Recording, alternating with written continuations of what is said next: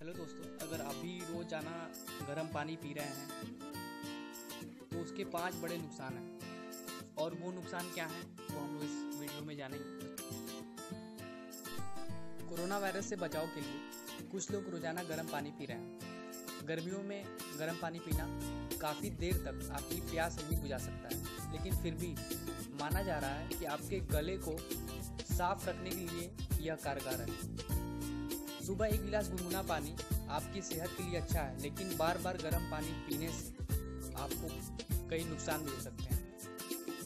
Kidney पर पड़ता है असर। हमारी किडनियों में खास तौर पे कैपिलरी सिस्टम होता है, जो अतिरिक्त पानी और टॉक्सिन्स को शरीर के बाहर निकालने में मदद करता है। रिसर्च बताती है कि गर्म पानी से आपकी किडनियों पर सामान्य की अपेक्षा ज़्यादा ज़ोर पड़ रहा है, जिसके कारण किडनी को सामान्य से फ़ंक्शन करने में समस्या आती है।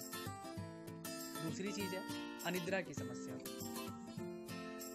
रात में सोते समय गर्म पानी पीने से आपको नींद की समस्या हो सकती है। रात में गर्म पानी पीने से आपको पेशाब भी अधिक आता है और आपकी रक्तवाहिनी कोशिकाओं पर भी दबाव पड़ता है। सोते समय गर्म पानी का सेवन ना करें। तीसरी चीज़ है, ब्लड की मात्रा पर प्रभाव।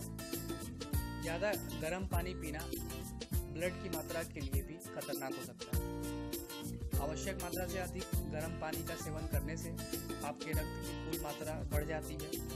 ब्लड का संचलन एक बंद प्रणाली है और यदि यह अनावश्यक दबाव प्राप्त करता है तो हाई ब्लड प्रेशर और कई अन्य बीमारियों को जन्म देता है।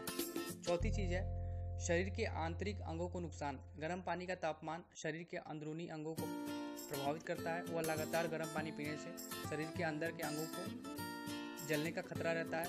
ऐसे में अगर आप बहुत जल्दी जल्दी गर्म पानी पीते हैं तो इससे आपके अंदरूनी अंगों में छाले पड़ सकते हैं। शरीर के अंदरूनी अंगों के टिश्यूज बेहद संवेदनशील होते हैं। पांचवी चीज़ है, नसों में सूजन। कई लोग ऐसे होते हैं जिन्हें बिना प्यास के गर्म पानी पीने से दिमाग की नसों में सूजन आ सकती है। इसलिए जब प्यास लगे, तभी गर्म पानी पिए। बार बार गर्म पानी पीने से सिर दर्द भी बढ़ता है।